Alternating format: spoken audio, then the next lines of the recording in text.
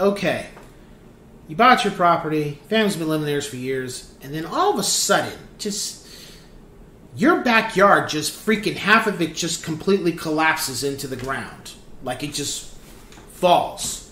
What the hell happened?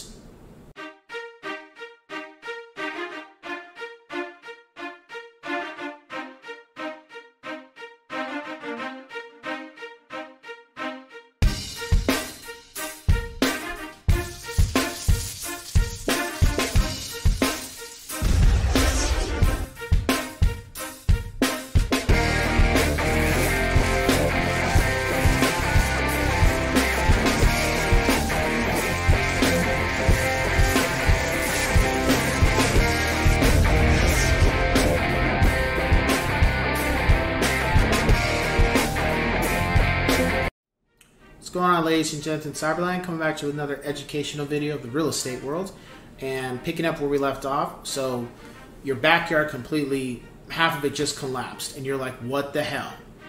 Was it a mudslide or something? What was it? Nature? What was it? An earthquake? What happened?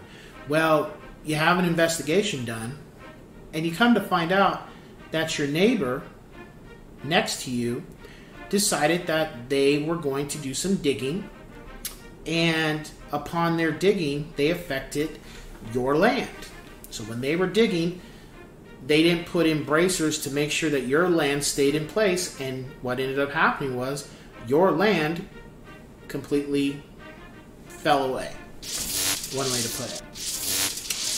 And that's a serious problem, and that's a litigation problem, and that's a lawsuit. The thing about being a homeowner is we all all of us are going to have a home and we're all going to live next to somebody whether that's two blocks away or you know 20 feet away. Well even though you have rights as a homeowner to do things to your property you can only do so much. You cannot cultivate the land to where it starts to tear up other people's property. Whether that's their fence whether that's their land whether that's their plumbing if you're doing things that are affecting your neighbor's property you can be brought into a, a, a, lawsuit situation. So the term for this is called lateral support. What that means is that even though you want to do things to your land, you want to change the schematics of your land, you can do that. Let's say you're like, well, I want to have a basement built, like a, a bomb shelter built in my backyard. You can do that. You have a right to do that. However, you need to make you need to put steps in place when you're doing that to make sure that if your backyard, for example, there's a home next to you here, there's a home next to you here, and there's a home on the other side of the fence. You need to make sure when you're doing your basement, it doesn't affect this person's land, doesn't affect the next person's land, or the person behind the fence that you have. You got to make sure when you're doing that, you're not affecting anybody's land or their lateral support when you're digging these things. Because some, not sometimes, but you know when you ever seen videos where there was mudslides and certain things happened to people's homes and people were like, "What caused it? What happened? Why did the house?"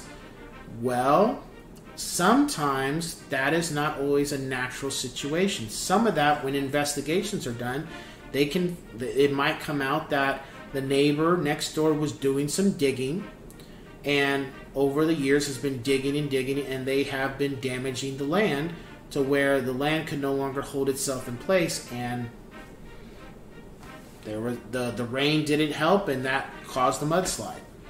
There's things like that. Not always the case but it can happen.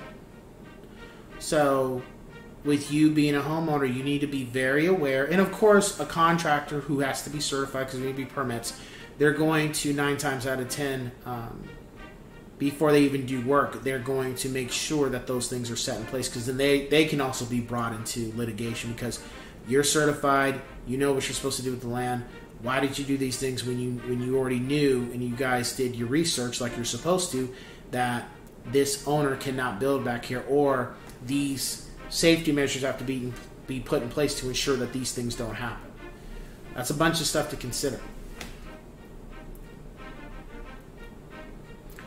So, you know, again, it's your property. You have, you know, the bundle of rights. You have a right to do what you want with it.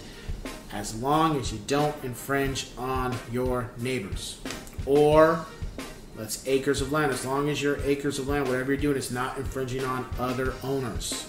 Even though it's acres of land, you got to be careful. You know, what if you're deciding to do some build something on the almost on the outskirts of your land, and it happens to start damaging another person's property? You can't do that. Well, it's on my land. No, this part is your land. Once you cross this line, this point, this metes and bounds, this becomes somebody else's land. You can't do that. So those are things you also got to keep in mind when you're building too. Whenever you're building, same thing. If you're digging too much to where it's affecting somebody else's support for their land, you got a problem. But again, got it. This is why we have permits and you have certified people doing the work to make sure all these things are put in place so there's no headache or anything come back to bite you. Anyway, that being said, I will catch you guys on the next one.